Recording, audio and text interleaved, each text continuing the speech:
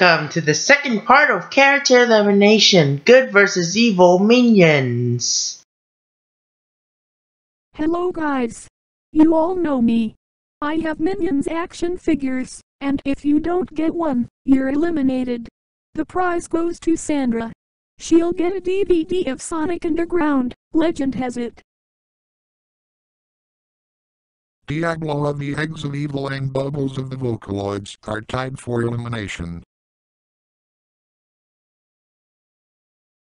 You guys' minions-based challenge is to find a treasure chest which it'll have a prize or Scarlet Overkill, which is a request by Miguel Mateo. A few moments later.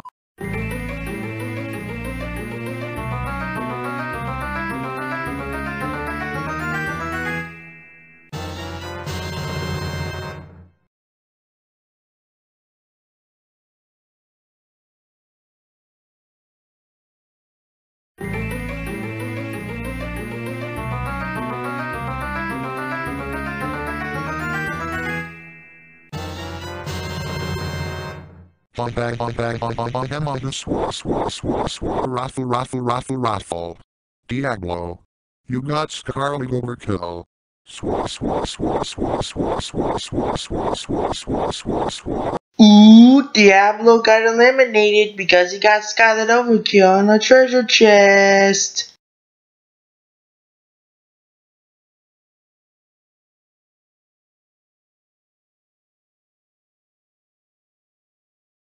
Who will be eliminated and who will get the prize? But since Bubbles got Despicable Me 2 and the Book of Life on Blu-ray, and Sandra got the prize, they both get immunity.